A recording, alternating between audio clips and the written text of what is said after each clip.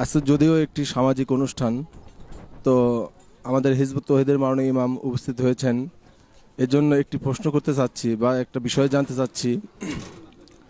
বিভিন্ন অসামাজিক আপত্তিকর ভিডিও বক্তব্য বা সামাজিক যোগাযোগ মাধ্যমে অপপ্রচার করা হচ্ছে যে হিজবুত তহিদের জে টিভি বজ্র শক্তির সাংবাদিক নামে পরিচিত ভুয়া সাংবাদিক গতকাল জয়পুরহাটে ধরা পড়েছে। তো এই বিষয়ে বিভিন্ন যোগাযোগ মাধ্যমে হিজবুত তহিদের কর্মী হিসেবে অপপ্রচার করা হচ্ছে। তো এই বিষয়ে মাননীয় ইমামের কাছে আমরা এই বিষয়টা জানতে চাচ্ছি, যে উনি কি আসলেও হিজবুত তহিদের কর্মী কিনা? সবাইকে আন্তরিক সালাম মোবারকবাদ। সালামু আলাইকুম রহমতুল্লাহ বারাকাত আসলে আমি আজকে যদিও এটা একটা সামাজিক অনুষ্ঠান, বিয়ে অনুষ্ঠান আমাদের একজন সদস্য ওনার আজকে বিয়ে অনুষ্ঠান। এখানে আমরা এসেছি অন্য অন্য আমন্ত্রিত অতিথিরাও অতিথিরাও এসেছেন। তা আমাকে আসার সময়ই অনেকেই বলেছেন যে সোশ্যাল মিডিয়াতে আজকে গতকাল রাত থেকে একটা অপপ্রচার ব্যাপকভাবে ভাইরাল করে দেওয়া হচ্ছে। যে এই বিষয়ে হিজবুত তৈরিদের কোনো সংশ্লিষ্টতা আছে কি না আমার কি বক্তব্য কী?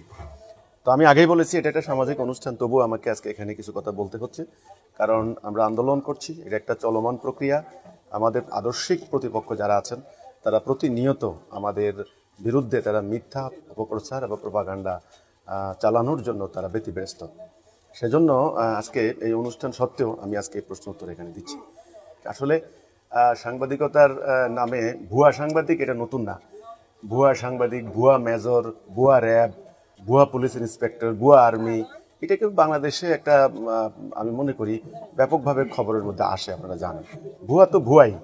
কারা ভুয়া এবং কারা প্রকৃত আসল, এটা খুঁজে বের করার দায়িত্ব আইন শৃঙ্খলা বাহিনীর, সরকারের, পুলিশ র্যাব ইত্যাদি।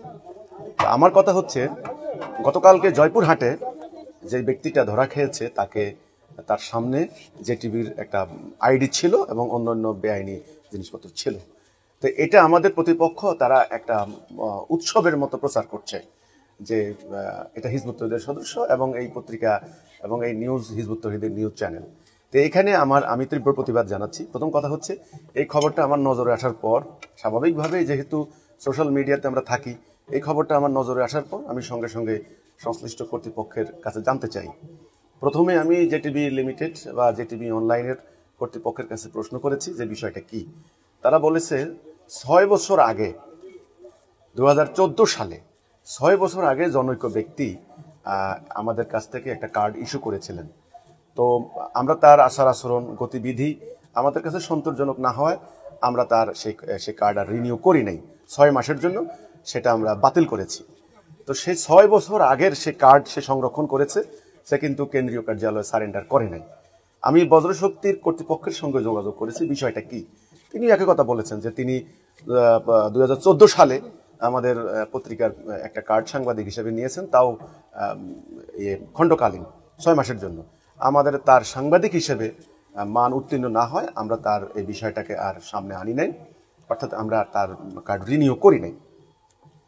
তো এখন প্রথম কথা হচ্ছে, এই ব্যক্তি সাংবাদিক পরিচয় দিয়ে ছয় বছর ছয় বছর আগে কর্তৃপক্ষের একটা ইস্যু করা কার্ড আজ পর্যন্ত রেখেছে, সে সারেন্ডার করে নাই এটা একটা বেআইনি কাজ করেছে। তা আমি বজ্রশক্তি এবং জেটিভি কর্তৃপক্ষকে বলেছি, তা আপনারা আইনের শরণাপন্ন হন। এখানে আমাদের আইন শৃঙ্খলা বাহিনীর দায়, দায়বদ্ধতা রয়েছে। একটা কার্ড, মেয়াদ উত্তীর্ণ কার্ড। সেখানে আপনারা বেআইনি কাজ যদি কেউ করে থাকে, তার সঙ্গে এই কার্ড শো করে দিয়ে প্রচার করলে তো সেই প্রতিষ্ঠানের একটা সুনাম ক্ষুণ্ণ হয়। এটা আমি আমি মনে করি। তো সেই প্রতিষ্ঠানকে আমি অনুরোধ করেছি, আপনারা আইনগতভাবে ব্যবস্থা নিন। এখানে আমার কথা হচ্ছে গণমাধ্যম, একটা স্বাধীন গণমাধ্যম। এখানে কোনো আন্দোলনের সংশ্লিষ্টতা থাকে না। বজ্রশক্তি একটা স্বাধীন পত্রিকা, জাতীয় পত্রিকা। জেটিভি অনলাইন এটা একটা অনলাইন নিউজ পোর্টাল তো কাজেই এটা একটা স্বাধীন। এখন সারা বাংলাদেশের কেউ যদি সাংবাদিকতা করার জন্য বা সাংবাদিক নামে এই কার্ড ইউজ করে বা কর্তৃপক্ষ সেটা ইস্যু করে, এখানে হিজবুত তহিদের সঙ্গে কি সম্পর্ক আমি বুঝি না। আমার বুঝে আসে না। আমি হিজবুত তহিদের জেলা সভাপতির সঙ্গে কথা বলেছি সঙ্গে সঙ্গে, যে বিষয়টা কি? বলছে যে কখনো না। এই এই ছেলে আমাদের হিজবুত তহিদের সদস্যও না, হিজবুত তহিদের সঙ্গে তার ন্যূনতম কোনো সম্পর্ক নাই। অর্থাৎ এটা হিজবুত তহিদের সদস্য নয়। এক নম্বর। দুই নম্বর হচ্ছে, এই ব্যক্তি যে কার্ড ব্যবহার করেছে, এটা জেটিভির মেয়াদ উত্তীর্ণ ছয় বছর আগে সেটাও নয়। তাহলে সম্পূর্ণটা বেআইনি। আর আমাদের প্রতিপক্ষ যারা আজকে এটাকে হিজবুত তৌহিদের সঙ্গে জড়িয়ে অপপ্রচার চালাচ্ছেন, আমি তাদের কাছে একটা কথা বলতে চাচ্ছি। ফরিদপুরে একটা হোটেলে অসামাজিক কার্যকলাপের দায়ে তিরিশ জন নারী পুরুষকে গ্রেপ্তার করা হলো, কালের কণ্ঠ পত্রিকা এসেছে। পত্রিকার শিরোনাম পাল্টে দিয়ে হিজবুত তৈদের নাম জুড়ে দেওয়া হয়েছে। সেটাও প্রচার চালানো হয়েছে। দক্ষিণ ভারতের একটা সিনেমার অশ্লীল কাটিং জুড়ে দিয়ে সেটা আমাদের নেতৃবৃন্দর নামে চালিয়ে দেওয়া হয়েছে, সেটা আমরা প্রমাণ করেছি। সেটা জনৈক মুক্তি করেছেন। কেরানীগঞ্জের এক- একজন মুক্তি তিনি সেটা করেছেন।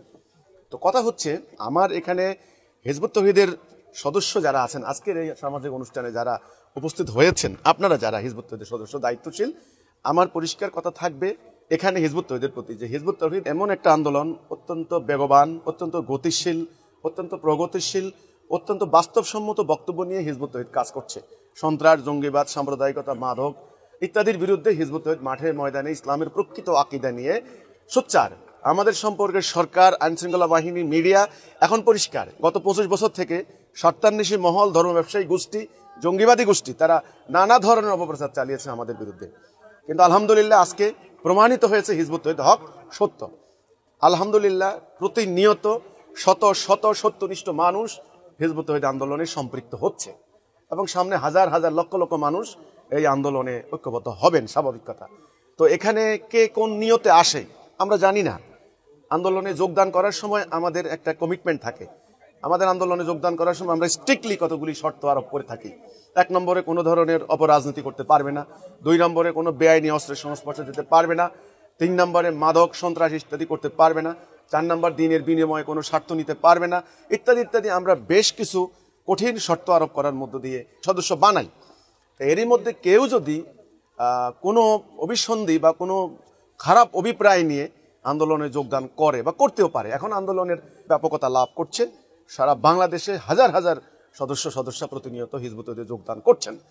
আমার কথা হচ্ছে, যদি কোনো ব্যক্তি কখনো কখনো কোনো ধরনের বেআইনি কাজ করেন, রাষ্ট্রবিরোধী বা শরিয়া বিরোধী কাজ স্পষ্ট করে থাকেন, বেআইনি কাজ করেন, সেটার দায়, দায়িত্ব সেই সংশ্লিষ্ট ব্যক্তি বহন করবেন।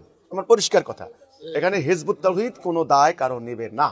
আমি এটা বলছি না যে হিজবুত তৌহিদে যোগ দিলেই একেবারে তুলসী ধোয়া পাতা হয়ে গেল, তুলসী পাতা হয়ে গেল বা হিজবুত তৌহিদে যোগ দিলেই সে দরবেশ হয়ে গেল, বিষয়টা তার নয়। মানুষের চরিত্র সমান নয়। যদি কেউ কখনো কোনো কারণে, কারও প্ররোচনায় প্ররোচিত হয়ে অথবা পরিকল্পিতভাবে হিজবুত তহিদে প্রবেশ করে কোনো ধরনের বেআইনি কার্যক্রম, অসামাজিক কার্যক্রম করে থাকে, সেটার দায়, দায়িত্ব কখনো হিজবুত তহিদ নেবে না। এটা একদম পরিষ্কার। দেশে আইন আছে, প্রচলিত আইন শৃঙ্খলা বাহিনী আছে, সরকার আছে, আমি অঙ্গীকারাবদ্ধ। যে আমি নিজে তাকে আইনের কাছে সুপর্দ করে দেব।